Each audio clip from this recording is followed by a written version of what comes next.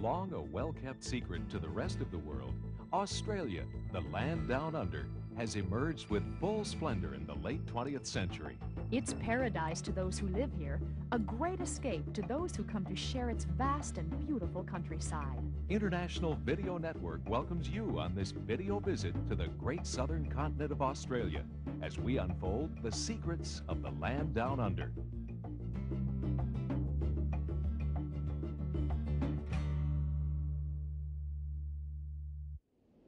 Australia is a land of contrasts. From the blue-green Indian and Pacific Oceans surrounding the world's largest island to the hell-hot center, the outback, the dry land. The land down under, an expression coined by Aussies who refer to their seasons running opposite or upside down those of the northern hemisphere, has the distinction of being the world's oldest, driest, and flattest of continents. Although physically isolated from other parts of the world, it is a land of great mineral wealth and a vigorous, generous, and friendly population of 16 million. While the landmass compares approximately with that of the continental United States, it has less than one tenth the population. Located in the southern hemisphere, divided by the Tropic of Capricorn, and surrounded by more than 12,000 miles of shoreline, Australia was the last of the developed continents to be discovered and explored. Dutch sailor Willem Jans made the first confirmed sighting in 1606 but it was one. Willem Janszoon was born in 1570. He was educated in navigation in a small port village in Amsterdam where he developed the desire to go to sea. In 1558, Janszoon went out to explore for the first time as a cadet. In that time, he witnessed the destruction of the Spanish Armada and decided to pursue defenses. His affair with exploration began when he first sailed as captain to the East Indies. When he returned he was appointed employee of the Dutch East India Company or V.O.C. in 1602.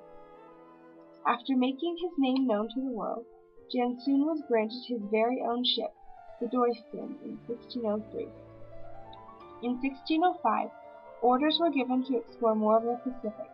Janszoon appointed Stephen Vanderhagen as his mate for this journey into the unknown.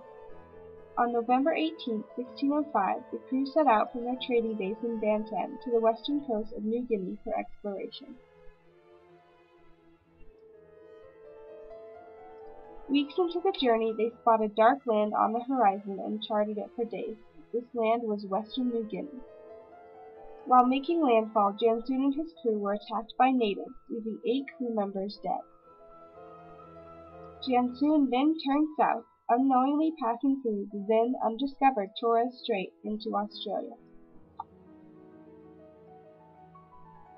In early 1606, Janszoon spotted new landscapes. In January of 1606, Janszoon landed in the Pennefather River, the first landing in Australia to be recorded. He charted over 300 miles of western coast, making landfall at least five times and taking in beautiful landscapes. After charting over 300 miles, provisions were running, running low, and Janszoon decided to turn around in Cape Keerweer in Weipa. They sailed back up the charted coast and landed past their original landfall.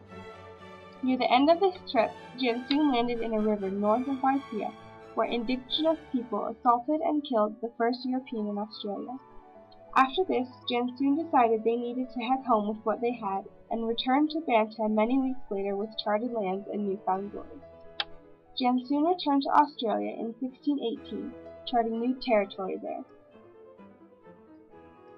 When he returned to the Netherlands, Janszoon served as an admiral of the Dutch defence fleet sailing to India, Manila, and of course, the East Indies. At the end of his life, Janszoon served as governor of Banda, dealing mainly with navigation and trade defenses, and retired at the age of 60 before dying in 1630.